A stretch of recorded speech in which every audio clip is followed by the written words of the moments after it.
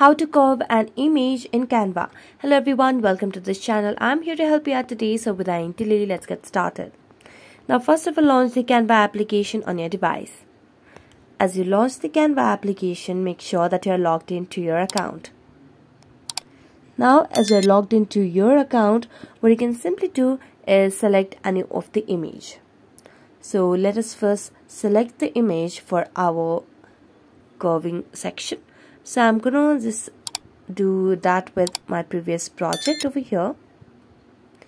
So what you can simply do over here is you can just tap on the effects section or just the element section at the bottom of the screen.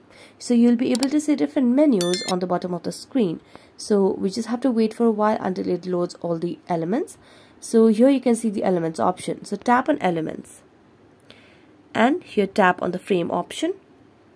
And when it comes to frame what you can simply do is you can search for curve frame over here. So let's do that. So I'm gonna search for curve frame.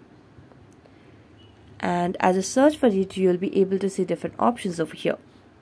So you can simply select any of these. I'm gonna select one of these randomly and when you select on that you can just put on that picture over here. So let me just do that. So first of all let me just add up a picture. Let me add the picture over here of any other elements. And let us just drag it to the curve.